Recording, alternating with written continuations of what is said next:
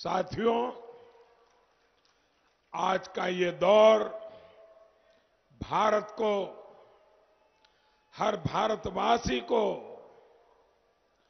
एक बहुत बड़ा संदेश दे रहा है। ये समय भारत को ज़्यादा से ज़्यादा ताकतवर, भारत को आत्मनिर्भर बनाने का है।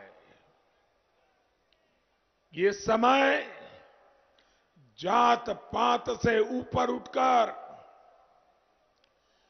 छोटी छोटी बातों से ऊपर उठकर, राष्ट्र के साथ खड़े होने का समय है।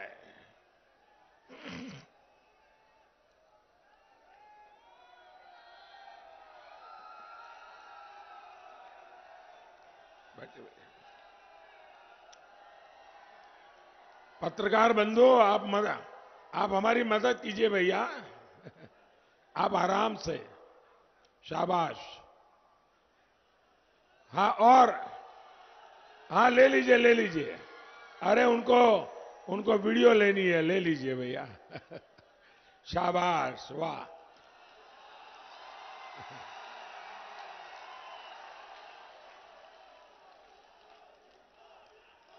आपका काम हो जाने के बाद अगर मुझे इजाज़त देंगे तो मैं अपनी बात शुरू करूँगा।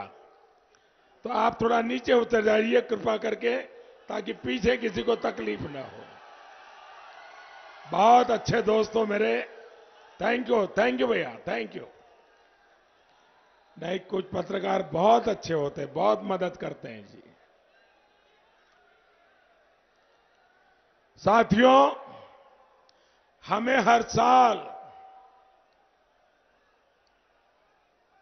लगातार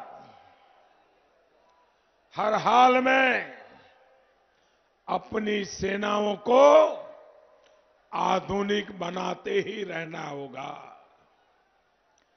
देश को आत्मनिर्भर बनाने के लिए खुद को खपाना होगा। और ये काम गौर परिवारवादी गौर स्वार्थी कभी नहीं कर सकते।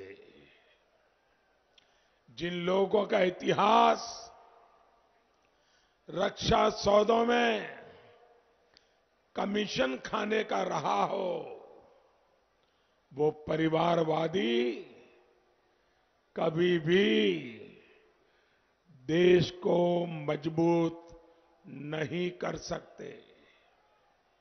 जो लोग देश की सेनाओं की ज़रूरत को हमेशा नजरअंदाज करते रहे, वो परिवारवादी देश को मज़बूत नहीं कर सकते।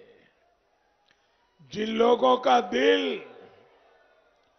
देश में बम धमाके करने वाले आतंकियों के लिए धड़कता है, वो कभी देश को सशक्त नहीं बनाएँगे।